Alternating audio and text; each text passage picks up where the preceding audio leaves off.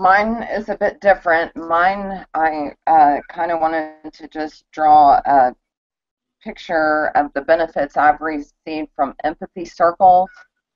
Um, I'm also going through grief because I suddenly lost my husband January 2012, and then my dad seven weeks later. So that's where my need for empathy has. So I just want to tell a little story about the benefits of empathy circles, and uh, empathy feels damn good. So while I was looking around on the Culture of Empathy website, I was reading the section Empathy Feels Damn Good. There are subheadings such as feel connection, feel presence, feel more openness, and I have some examples of those feelings. Um, I may be stretching the meaning of empathy circles, but I have many examples of how they've helped me. I never even thought of them as empathy empathy circle. I met Edwin, but I see them that way now.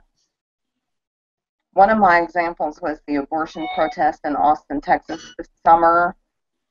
Um, I see it as a big empathic event uh, grief group therapy is another vastly beneficial empathy circle I'm involved in, as well as a circle of two, which is my one on one counseling session. Um, I understand better what Felicia said a couple weeks ago about empathy, quote, takes the lid off, unquote, especially in the area of creativity involved in the abortion protest this summer, and all of us wore a color that we identified with. Orange was for pro choice, blue was the anti choice, so it was very easy to identify with the like minded individuals. And it was a very energizing experience to be with those people and to be able to physically release our anger. Um, I clapped, they were actually sore the next day and I chanted so loudly and for so long that my voice was hoarse the next day, and I could feel the anger and frustration fading with every syllable that I spoke and every time I clapped my hands. Um, I met some wonderful people during that protest. Uh, this past Sunday, I got to enter one of my new friend's dreams. And I don't mean a literal dream, I mean a dream like what would I do if I won the lottery type dream. Um, we collectively dreamed of building a sort of compound of, out of old containers, like mini houses. Uh, we dreamed of having gardens, a library, collective cooking and eating areas.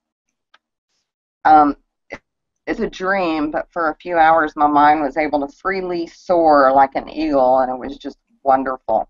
I was more relaxed and happy. I cooked a delicious and healthy dinner, and for the first time in a long time, I'm able to pick up a pen and I'm writing this story, this very story right here. So, yes, Felicia, and I understand what she's saying when she said with empathy, you find kindred. You can take the lid off of possibilities, dreams, and your own personal creativity. So, the benefit of that one could be filed under I feel more calm and relaxed, and I feel the creativity from being in the empathy circle of a protest. um, I have to backtrack a little and give a bit of my background in order to explain another connection I made in that giant empathy circle of protest. And this would benefit would be filed under the feeling of spaciousness or the feeling of acceptance. Um, when my husband died, he died, and it happened around the same time my only child, my daughter, was about to graduate from college. So my role as a mother was changing. So not only was a giant piece of my identity changing, but her suddenly looked drastically different. So I've spent the last year and a half trying to find an identity for myself with the unprecedented freedom to do my own thing without having to consider what the effects of doing my own thing would have on others and I'm still unsure of what doing my own thing means, but I know I naturally spend a lot of time studying the current political arena, and this brings me to another person I met during the giant empathy circle of protest. I met a writer by profession who is also a political activist with a lot of experience And through her, I've been able to join a politically active group. I've been to meetings, I've been to trainings, and I'm looking forward to learning a lot and actually helping to change people's lives for the better through the policy making system. And this is what I mean by doing my own thing. Through the giant empathy circle of protesting at the Capitol, I've met someone that has a great deal of knowledge and a willing to, willingness to teach that knowledge of making the world a better place. So I benefit so far from the giant empathy circle, the giant empathic event of protesting kindred spirits, one that allowed me to dream and therefore pick up a pen and write again, and one that is a guide to my probable future as a political activist, which will fulfill my ultimate goal of leaving the world a little better off, or at least to be able to keep the torch of humanity burning. Another empathy circle that helped me a great deal is my grief group. One member actually feels that the group has literally saved his life. and has literally kept him alive. He got physically very sick right after his wife died, and when he started, when he got better, he started coming to the grief group. In the beginning, he said he would count the days and the hours until the next group meeting. He feels the group, or at least looking forward to the next meeting, is what enabled him to keep putting one foot in front of the other until he could make the next meeting, literally giving him a reason to wake up in the morning. For me personally, I would probably be depressed if I hadn't had this empathy circle. My daughter always encourages me to go because she can tell I am emotionally healthier when I attend the meetings regularly.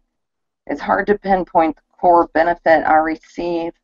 I would guess that it may be clarity and understanding. I understand that grief is real. It is a thing. It's not a material thing, but it's a real thing nonetheless. I would find under the feeling of transcendent truth and also under healing. Um, a circle of two, myself and a therapist to deal with my anger the reason I need a much smaller circle is because of the intensity of the feeling and the confidentiality of only sharing with one person. I also did without having to take turns with others. Um, I circle one on one with Edwin, and he was very quickly able to empathize and help me resolve that one single issue I had that was giving me a feeling of anger. I would file this under empathy as an antidote to bad feelings. So, in conclusion, I will just leave you with a quote. Quote, hello, and thank you for existing. Unquote. So, what I was hearing, uh, Suzanne, is that there's multiple types of empathy and empathy circles, and that by going to these, that it's like opening uh, a lid up, that you're able to start expressing yourself and feeling and that you get a different uh, and it feels damn and those are a whole bunch of different damn good feelings that, that arise from those different circles. And that from each circle has a different quality to it. There's the, the kind of the protest circle your grief circle as well as one-on-one uh, circles. So uh, the, and from having those connections that it's opening up and there's actually a creativity uh, also a feeling of creativity that's coming up. So that's what I was hearing. First of all I would like to say that I I feel very honored that that something that I said during our empathy circle a couple of weeks ago has has translated into your life and so um, and uh, I really really felt it as a writer. Um, I felt the place that you were going to, um, that you were taking your feelings into something that moved, that was more fluid in words on paper, that you were that you were creating something brand new out of your experience and um, and I felt very uplifted by that. Suzanne really uplifted and encouraged. Um, so I would say, that, and um, and I wanted to say that that I am so supercharged, excited about um, how you have moved in your in your um, in your transformation in the last couple of weeks. It is so encouraging um, th- that your grief has lifted to to a place of um, of uh, eloquence and um, and uh, beauty, and so. Uh, uh, more than, than relating exactly word for word by what you said, I just wanted to say that you you have affected me profoundly by looking at all the different ways that you have used empathy with your circles, and I'm so encouraged by that. And I want to thank you so much. Thank you, Felicia. You and I just have some kind of connection going on here. I think we're sisters. Somehow you and I are sisters. I think so too. I think so too. But okay, so I wanted to say to you that I felt a wall the last time that you were on our circle. And I feel that wall has lifted up a lot and that's that's due to your transformation. I mean, you chose that. This is what you did with empathy. I'm so proud. And I I I, I hope that that encourages other people who are listening today